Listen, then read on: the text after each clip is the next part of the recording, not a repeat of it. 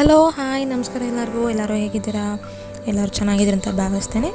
Welcome to ವಾಣಿಸ್ vlog ಇವತ್ತೇನು ಅಂದರೆ ಸಣ್ಣ ಮಕ್ಕಳಿಗೆ ರಾಗಿ ಸರಿ ಮಾಡೋಕ್ಕೆ ಏನೇನು ಐಟಮ್ಸ್ ಹಾಕಿ ಮಾಡ್ತೀವಿ. ಏನೇನು ಐಟಮ್ ಹಾಕ್ಕೊಂಡು ಮಿಲ್ಲಿಗೆ ಹಾಕ್ಕೊಂಬರ್ತೀವಿ ಅನ್ನೋದನ್ನು ತೋರಿಸ್ಕೊಡ್ತಾ ಇದ್ದೀನಿ ಫಸ್ಟ್ ಐಟಮ್ ನೋಡಿ, ರಾಗಿ. ರಾಗಿನ ತೊಳೆದು ಒಣಗಿಸ್ಬಿಟ್ಟು ಹುರಿತಾ ಇದ್ದೀನಿ ಇದು ಹುರಿದಿರೋದು ನೋಡಿ. ನೀಟಾಗಿ. ಅಂದರೆ ಒಂದು ಸ್ವಲ್ಪ ಬ್ರೌನಿಷ್ ಥರ ಬರ್ತಾರೆ ಹುರಿಬೇಕು.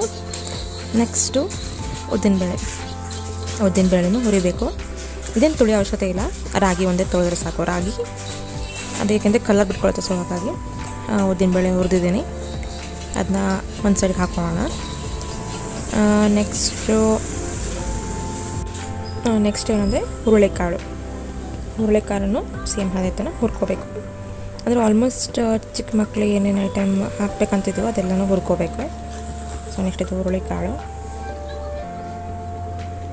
ನೆಕ್ಸ್ಟು ತೊಗರಿಕಾಳು ಇದು ಸೇಮ್, ಹುರಿದ್ಬಿಟ್ಟು ಅದು ನೀಟಾಗಿ ನೀಟಾಗಿ ಹುರ್ಕೋಬೇಕು. ನೋಡಿ, ಹುರಿದ ಮೇಲೆ ಈ ಕಲರ್ ಬರುತ್ತೆ. ಸೊ ಈ ಥರ ಕಲರ್ ಬರೋವರೆಗೂ ಹುರ್ಕೋಬೇಕು.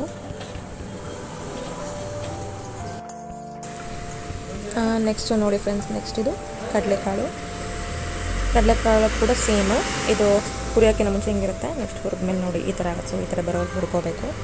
ಅದು ಚಿಕ್ಕ ಮಕ್ಕಳಿಗೆ ಏನಷ್ಟೊಂದು ಎಫೆಕ್ಟ್ ಆಗಲ್ಲ, ಹುರಿದ್ಬಿಟ್ರೆ. ಸೊ ಹಾಗಾಗಿ ಏನು ಐಟಮ್ ಮಾಡಬೇಕಂದ್ರೂ ಚಿಕ್ಕ ಮಕ್ಕಳಿಗೆ ಹುರಿಬಿಟ್ಟು ಮಾಡೋದೇ ಒಳ್ಳೆಯದು ನೋಡಿ, ಈ ಥರ ಹುರಿಬೇಕು. ಇದನ್ನ ಒಂದು ಸೈಡ್ಗೆ ಹಾಕ್ಕೊಂಡು ನೆಕ್ಸ್ಟು ಅಕ್ಕಿ. ಅಕ್ಕಿ ಕೂಡ ಹುರಿಬೇಕು. ಸೊ, ಅಕ್ಕಿನೂ ಹುರಿದ್ಬಿಟ್ಟು ಹಾಕೋಣ. ನೋಡಿ, ಅಕ್ಕಿ ಫಸ್ಟ್ ಹೀಗಿರುತ್ತೆ ನೆಕ್ಸ್ಟ್ ಹುರಿದ ಮೇಲೆ. ನೋಡಿ, ಸ್ವಲ್ಪ ಕಲರ್ ಬರುತ್ತೆ ನೋಡಿ, ಈ ಥರ ಹುರ್ಕೋಬೇಕು. ಅದನ್ನು ಅಕ್ಕಿನೂ ನೀಟಾಗಿ ಹುರ್ಕೊಂಡು ಒಂದು ಸೈಡ್ಗೆ ಹಾಕ್ಕೊಳ್ಳೋಣ ಸೊ ಆಲ್ಮೋಸ್ಟ್ ಚಿಕ್ಕ ಮಕ್ಕಳಿಗೆ ಹುರಿದು ಹಾಕ್ಕೊಳ್ಳೋದೇ ಬೆಸ್ಟ್ ಯಾಕಂದರೆ ಹುರಿಯೋಕ್ಕಿಂತ ಮುಂಚೆ ಹಾಗೇನೆ ಹುರಿಯೋದೇ ಮಾಡಿದರೆ ಚೆನ್ನಾಗಿರೋದಿಲ್ಲ. ಸೊ ಹಾಗಾಗಿ ಇದು ಇದು ಅಲಸಂದಿ ಕಾಳು. ಅದನ್ನು ನೀಟಾಗಿ ಹುರಿದು, ಅದನ್ನು ಸೇಮ್ ಎಲ್ಲನೂ ಆಲ್ಮೋಸ್ಟ್ ಎಲ್ಲ ಐಟಮ್ ಸೇಮ್ ಹುರಿದ್ಮೇಲೆ ನೋಡಿ, ಇದು ಫಸ್ಟ್ ಹೇಗಿದೆ ಇವಾಗ ನೋಡಿ, ಆ ಥರ ಆಗಿದೆ. ಸೊ ಅದು ಈ ಕಲರ್ ಬರೋವರೆಗೂ ಹುರ್ಕೋಬೇಕು. ಇದೆಲ್ಲ ಆದಮೇಲೆ ನೆಕ್ಸ್ಟು ಗೋಧಿ. ಗೋಧಿ ಕೂಡ ಸೇಮ್. ಫಸ್ಟ್ ಹುರಿಯೋಕ್ಕಿಂತ ಮುಂಚೆ ಈ ಥರ ಇರುತ್ತೆ. ಹುರಿದು ಆದಮೇಲೆ ನೋಡಿ ಫ್ರೆಂಡ್ಸ್ ಯಾವ ಕಲರ್ ಬಂದಿರುತ್ತೋ ಆ ಕಲರ್ ಬರೋ ಅಷ್ಟು ನೀಟಾಗಿ ಹುರ್ಕೊಬೇಕು ಬಟ್ ಕೈ ಬಿಡಬಾರ್ದು ನೋಡಿ ಈ ಥರ ಬರಬೇಕು. ಹುರಿತಾ, ಕೈ ಆಡ್ತಾನೆ ಇರಬೇಕು. ಇದನ್ನೂ ನೀಟಾಗಿ ಹುರಿದಾಗಿದೆ ಸೊ ಇದನ್ನ ಒಂದು ಸೈಡ್ಗೆ ಹಾಕೊಳ್ಳೋಣ.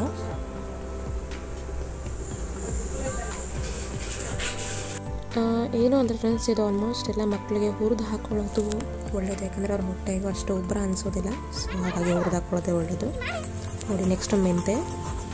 ಮೆಂತೆ ಕಾಳನ್ನು ಕೂಡ ನಾನು ಹುರಿದ್ಬಿಟ್ಟು ಹಾಕ್ತೀನಿ. ಇದು ಎಂತಕ್ಕೆ ಹಾಕ್ತೀವಿ ಅಂದರೆ ಏನಾದರೂ ನಾವು ನಾರ್ಮಲಾಗಿ ಹೊಟ್ಟೆ ನೋವು ಬಂದಾಗ ಥರ ಮೆಂತೆ ನುಂಗ್ತೀವಲ್ಲ ಸೊ ಹಾಗಾಗಿ ಯಾವ ಪ್ರಾಬ್ಲಮ್ ಬರ್ತೇ ಇರಲಿ ಅಂತ ಅದ್ರೊಳಗಡೆ ಹಾಕ್ಬಿಡ್ತೀವಿ. ಸೊ ಜೀರಿಗೆ. ಜೀರಿಗೆ ಕೂಡ ಸೇಮ್ ಅದೇ ಸ್ವಲ್ಪ ಕ್ವಾಂಟಿಟಿನ ಹಾಕೋಣ. ಅದು ಒಂದು ಎರಡು ಟೇಬಲ್ ಸ್ಪೂನಷ್ಟು ಅದನ್ನೆಲ್ಲ ಹಾಕ್ಬಿಟ್ಟು ನೀಟಾಗಿ ಹುರ್ಕೊಂಡು ಅದಕ್ಕೆ ಹಾಕೋಣ. ಸಣ್ಣ ಮಕ್ಕಳಿಗೆ ಆಲ್ಮೋಸ್ಟ್ ಹುರಿದಿರೋದು ಹಾಕಿದ್ರೆ ಒಳ್ಳೆಯದು ಅಂತ ಹೇಳ್ತಾರೆ ಎಲ್ಲರೂ. ಸೊ ಹಾಗೆ ಹುರಿದ್ಬಿಟ್ಟು ಹಾಕ್ಕೊಳ್ಳೋದ್ರೆ ಹೊಟ್ಟೆ ಸ್ವಲ್ಪ ಆರಾಮವಾಗಿರುತ್ತೆ ಅಂತ ಹುರಿದ್ಬಿಟ್ಟು ಹಾಕ್ತೀವಿ. ನೋಡಿ ಫ್ರೆಂಡ್ಸ್ ನೆಕ್ಸ್ಟ್ ಮೆಣಸು. ಇದು ಮೆಣಸು ಏನಕ್ಕೆ ಹಾಕ್ತೀವಿ ಅಂದರೆ ಮೆಣಸು ಹೀಟಿನ ಅಂಶ ಅಲ್ವಾ? ಸೊ ಹಾಗಾಗಿ ಆಲ್ಮೋಸ್ಟ್ ಎಲ್ಲ ತಂಪಿನ ಅಂಶನೂ ಹೀಟಿನ ಅಂಶ ಎಲ್ಲ ಕ್ವಾಂಟಿ ಎಲ್ಲ ಆರ್ಗ್ಯಾನಿಕ್ಕು ಹಾಕ್ತಾ ಇರೋದ್ರಿಂದ ಮೆಣಸು ಕೂಡ ಇರಲಿ ಅಂತ ಮೆಣಸು ಹುರಿದ್ಬಿಟ್ಟು ಹಾಕ್ತಿದ್ದೀವಿ. ಅದು ಸ್ವಲ್ಪ ಒಂದು ಎರಡು ನಿಮಿಷ ಹುರಿದ್ಬಿಟ್ಟು ಹಾಕಬೇಕು. ಇದು ನೋಡಿ ಫ್ರೆಂಡ್ಸ್ ಇದು ಹೆಸರು ಬೇಳೆ. ಸಾರಿ ಹೆಸರು ಕಾಳು. ಅದನ್ನು ಬೇಳೆಗಾಗಿ ಕನ್ವರ್ಟ್ ಮಾಡ್ತಿದ್ದೀನಿ. ಸೊ ಇದು ಬೀಸೋ ಕಲ್ಲು ಅಂತೀವಿ ನಮ್ಮ ಸೈಡೆಲ್ಲ ನಾವು ಆಲ್ಮೋಸ್ಟ್ ಚಿಕ್ಕ ಚಿಕ್ಕ ಪೌಡರು ಸ್ಮಾಲ್ ಪೌಡರ್ಸ್ ಏನಾರು ಮಾಡ್ಕೋಬೇಕು ಅಂತ ಇದರಲ್ಲೇ ಮಾಡ್ಕೊತೀವಿ. ಸೊ ಅದರಲ್ಲಿ ಬೇಳೆ ಮಾಡ್ಕೊಳ್ಳೋಣ ಅಂತ ಮಾಡ್ತಾ ಇರೋದು. ಫ್ರೆಂಡ್ಸ್ ಆಲ್ಮೋಸ್ಟ್ ನಾವು ಈ ಥರ ಚಿಕ್ಕ ಚಿಕ್ಕ ಐಟಮ್ ಏನಾರ ಬೇಳೆ ಮಾಡ್ಕೊಳ್ಳೋದು, ಇಲ್ಲಾಂದರೆ ಚಿಕ್ಕದಾಗಿ ಏನಾರ ಪೌಡ್ರ್ ಮಾಡ್ಕೊಳ್ಳೋದಿದ್ರೆ ಇದರಲ್ಲೇ ಮಾಡ್ಕೊತೀವಿ ಯಾಕಂದರೆ ಇದು ಹಳ್ಳಿ ಮನೆ ಐ ಮೀನ್ ಸಾರಿ ಹಳ್ಳಿ ಮನೆ ಅಂತಲ್ಲ, ಹಳೆ ಕಾಲದಿಂದನೂ ಬಂದಿರೋ ವಸ್ತು ಅದೇ ಒಳ್ಳೆಯದು ಅದೇ ಆರೋಗ್ಯಕರವಾಗಿರುತ್ತೆ. ಸೊ ಹಾಗಾಗಿ ಅದರಿಂದನೇ ಮಾಡ್ಕೊಳ್ಳೋದು ಒಳ್ಳೆಯದು ನಾನು ಅದಕ್ಕೆ ಏನು ಮಾಡ್ತೀವಿ ಅಂದರೆ ಚಿಕ್ಕ ಚಿಕ್ಕದಾಗಿ ಏನಾರ ಸ್ವಲ್ಪ ಪೌಡರು ಏನಾರ ಬೇಕು ಅಂದರೆ ಇದರಲ್ಲೇ ಮಾಡ್ಕೊಂಡ್ಬಿಡ್ತೀವಿ. ಇದು ಸ್ವಲ್ಪ ಬೇಳೆ ಮಾಡಿಕೊಂಡು ಪೌಡ್ರ್ ಮಾಡೋಕೆ ಹಾಕಿದ್ರೆ ಒಳ್ಳೆಯದು ಅನಿಸ್ತು ಯಾಕಂದ್ರೆ ಮೇಗಡೆ ಸಿಪ್ಪೆ ತೆಗಿಬೇಕಾಗಿತ್ತಲ್ವ ಸೊ ಹಾಗಾಗಿ ಬೇಳೆ ಮಾಡಿಕೊಂಡು ಸಿಪ್ಪೆ ತೆಗೆದು ಮಿಲ್ಲಿಗೆ ಕಳಿಸ್ದೆ. ಇದು ಫ್ರೆಂಡ್ಸ್ ಏನು ಅಂದರೆ ಅದಕ್ಕೆ ಒಂದು ಉಡನಿಂದ ಕೈ ಗ್ರಿಪ್ಪಿಗೆ ಅಂತ ಕೊಟ್ಟಿರ್ತಾರೆ. ಬಟ್ ಅದೇನಾಗಿತ್ತು ಅಂದರೆ ಅದು ಕೂಡ್ತಾ ಇಲ್ಲ, ಬಿಟ್ಕೊಂಡ್ಬಿಟ್ಟಿತ್ತು. ಸೊ ಹಾಗಾಗಿ ನಾನು ಆ ಕಡೆ ಪಕ್ಕಕ್ಕೆ ಇಟ್ಬಿಟ್ಟು ಕೈಯಿಂದ ತಿರುಗಿಸ್ಬಿಟ್ಟೆ ಅದನ್ನು. ಸೊ ನೋಡಿ ಫ್ರೆಂಡ್ಸ್ ಇಷ್ಟು ಐಟಮ್ಸ್ ರಾಗಿ ಸರಿಗೆ ನಾವು ನಾನು ಹಾಕ್ತಿರೋದು ನನ್ನ ಮಗಳಿಗೋಸ್ಕರ. ಸೊ ನಿಮಗೇನಾರು ಇದರಲ್ಲಿ ಇಷ್ಟ ಆಗಿಲ್ಲ ಅಂದರೂ ನೀವು ಸ್ಕಿಪ್ ಮಾಡ್ಬೋದು. ಅಂದರೆ ಆಲ್ಮೋಸ್ಟ್ ಇದು ಆರ್ಗ್ಯಾನಿಕ್ ಐಟಮ್ಸ್ ಆಗಿರೋದ್ರಿಂದ ಇಷ್ಟು ಐಟಮ್ ಹಾಕೋದು ಒಳ್ಳೇದು ಅನಿಸುತ್ತೆ ನನಗೆ ನನಗೆ ಅನಿಸುತ್ತೆ. ಸೊ ನಿಮಗೇನು ಅನಿಸುತ್ತೆ ನನಗೆ ಗೊತ್ತಿಲ್ಲ. ಯಾಕೆಂದರೆ ನಿಮ್ಮ ಪ್ರಕಾರ ನೀವು ಮಾಡ್ತಿರ್ತೀರ ಅನಿಸುತ್ತೆ. ಸೊ ನಾನು ಹಾಕಿರೋದು ಒಂದು ಟ್ವೆಲ್ ಐಟಮ್ಸ್ ಆಗಿದೆ. ರಾಗಿ, ಅಕ್ಕಿ, ಗೋಧಿ, ಹುರುಳಿಕಾಳು ಹೆಸರುಕಾಳು, ಮೆಣಸು, ಜೀರಿಗೆ ಆಲ್ಮೋಸ್ಟ್ ಟ್ವೆಲ್ ಐಟಮ್ಸ್ ಆಗಿದೆ. ಸೊ ಟ್ವೆಲ್ ಆರ್ಗ್ಯಾನಿಕ್ ಐಟಮ್ಸ್ ಹಾಕಿ ರಾಗಿ ಸರಿ ಮಾಡಿ, ಅದು ಅವಳಿಗೆ ಟೇಸ್ಟಿಯಾಗೂ ಇರುತ್ತೆ, ಹಾಗೆ ಮೈ ಆರಾಮಾಗೂ ಇರುತ್ತೆ, ಆಮೇಲೆ ಆರೋಗ್ಯಕರವಾಗೂ ಇರುತ್ತೆ. ಸೊ ಹಾಗಾಗಿ ಟ್ವೆಲ್ ಆರ್ಗ್ಯಾನಿಕ್ ಐಟಮ್ಸ್ ಹಾಕಿ ನಾನು ಅವಳಿಗೆ ರಾಗಿ ಸರಿ ಮಾಡೋದು. ಸಾರಿ, ಇಲ್ಲ, ಪೌಡ್ರ್ ಮಾಡೋಕ್ಕೆ ಕಳಿಸಿ, ನೆಕ್ಸ್ಟ್ ಅವಳಿಗೆ ರಾಗಿ ಸರಿ ಮಾಡೋದು. ಸೊ ನೆಕ್ಸ್ಟು ಅವಳಿಗೆ ಅದನ್ನು ಮಿಲ್ಗೆ ಹಾಕ್ಕೊಂಡು ಬಂದಮೇಲೆ ಯಾವ ರೀತಿ ಇರುತ್ತೆ ಅನ್ನೋದು ತೋರಿಸ್ತೀನಿ ನೋಡಿ ಇವಾಗ. ನೋಡಿ ಫ್ರೆಂಡ್ಸ್ ಮೇಲ್ಗೆ ಬಂದ ಬಂದಮೇಲೆ, ಅಂದರೆ ಅವಳು ಚಿಕ್ಕ ಮಕ್ಕಳಿಗೆ ಸಾರಿ ಚಿಕ್ಕ ಮಕ್ಕಳಿಗೆ ಅಂದರೆ ಫುಲ್ ಫೈನ್ ಪೌಡ್ರ್ ಥರ ಮಾಡ್ಕೋಬೋದು. ಇದು ಅಂದರೆ ಅವಳಿಗೆ ಈಗ ಆಲ್ರೆಡಿ ಎರಡು ವರ್ಷದ ಮೇಲೆ ಆಗಿದ್ದಲ್ಲ ಸೊ ಹಾಗಾಗಿ ಸ್ವಲ್ಪ ತರಿ ತರಿಯಾಗಿ ನಾನು ಮಾಡಿಸಿದ್ದೀನಿ. ಸೊ ಇಷ್ಟು ತರಿ ಆಗಿದ್ರೆ ಸಾಕು. ಸೊ ನಾನು ಅವಳಿಗೆ ಮಾಡೋ ಕ್ವಾಂಟಿಟಿ ಈ ಸ್ಪೂನಿಂದ ಟೂ ಟೇಬಲ್ ಸ್ಪೂನ್ ಸೊ ಇದರಿಂದ ಟೂ ಟೇಬಲ್ ಸ್ಪೂನು ಅದರಿಂದ ಟೂ ಟೇಬಲ್ ಸ್ಪೂನ್ ಹಾಕಿ ಅದಕ್ಕೆ ಸ್ವಲ್ಪ ರುಚಿಗೆ ಉಪ್ಪು. ನಾನು ಅವಳಿಗೆ ಆಲ್ಮೋಸ್ಟ್ ಅವಳಿಗೆ ಒಬ್ಳಿಗೆ ಅಂತಲೇ ಸಪ್ರೇಟಾಗಿ ಯೂಸ್ ಮಾಡೋದಿದ್ದು ಜಿ ಆರ್ ಬಿ ಅವಳೊಬ್ಳಿಗೆ ಯೂಸ್ ಮಾಡೋದು, ನಮಗೆ ಬೇರೆ ಯೂಸ್ ಮಾಡ್ಕೊತೀವಿ.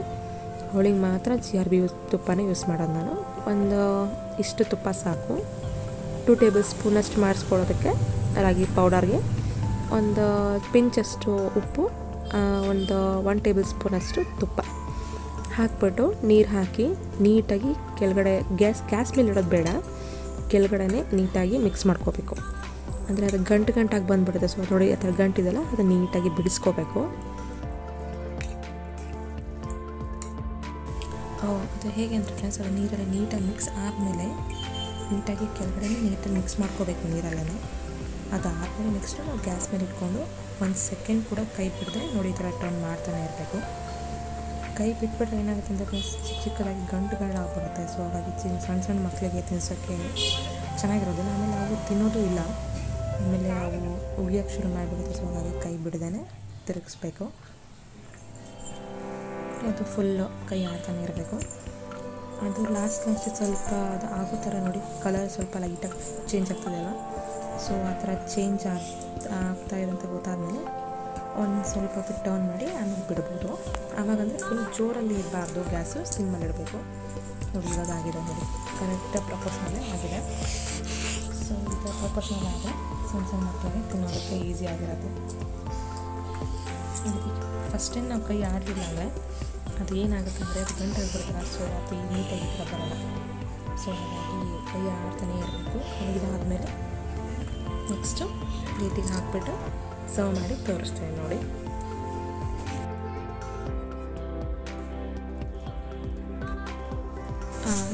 ನೋಡಿ ಫ್ರೆಂಡ್ಸ್ ಈಗ ರಾಗಿ ಆಗಿದೆ.